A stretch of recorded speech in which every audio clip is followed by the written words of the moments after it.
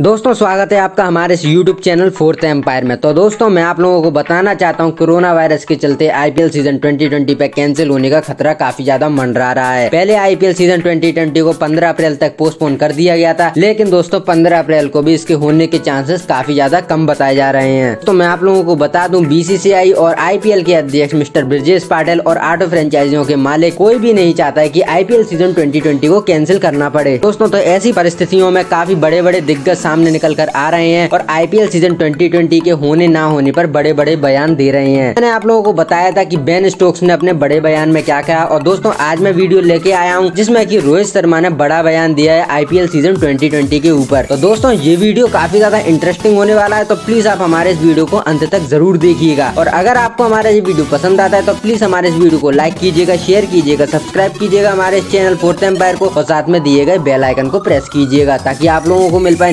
Notification हमारे latest videos की और आप लोग आनंद उठा पाए हमारी मज़ेदार वीडियोस का। दोस्तों, मैं आप लोगों को बता दूँ, रोहित शर्मा चोटिल होने के कारण पिछले कुछ समय से भारतीय टीम से बाहर चल रहे थे। दोस्तों, अब वो पूरी तरह से रिकवर हो गए हैं अपनी इंजरी से। वो अपनी फ्रेंचाइजी मुंबई इंडियंस के कप्तान की ज़िम्मेदारी को बखूबी निभाने के लिए तैयार है और वो आईपीएल 2020 में खेलना भी चाहते हैं। तो मैं आप लोगों को बता दूँ, रोहित शर्मा ने अपने इस बड़े बयान में कहा है कि आईपीएल सीज़न 2020 के ऊपर कुछ भी कह पाना मुश्किल है, क्योंकि 15 अप्रैल तक लॉकडाउन है पूरे देश में। उसके बाद भी कोरोना वायरस महामारी के चलते स्थिति में सुधार आना काफ़ी माना जा रहा है। तो ऐसे में आईपीएल सीज़न 2020 हो पाना काफ़ी ज़्यादा मुश्किल दिखाई दे रहा है। दोस्तों, उन्होंने साथ में ये भी कहा है कि इस बार मुंबई इंडियंस की टीम काफ़ी अच्छी दिखाई दे रही थी। ऑन पेपर उसका पूरा स्कोर काफ़ी ज़्यादा तगड़ा दिखाई दे रहा था और मुंबई इंडियंस चार बार आईपीएल जीतने के बावजूद पाँचवें खिताब को अपने नाम कर सकती थी इस सीज़न में। दोस्तों, ये थे कुछ सब जो की आईपीएल ट्वेंटी पर रोहित शर्मा ने बयां किए थे। अगर आपको ये वीडियो अच्छा लगा हो तो प्लीज़ हमारे इस चैनल फोर्थ एम्पायर को सब्सक्राइब कीजिए और साथ में दिए गए बेल आइकन को प्रेस कीजिए। धन्यवाद दोस्तों हमारे इस वीडियो को देखने के लिए।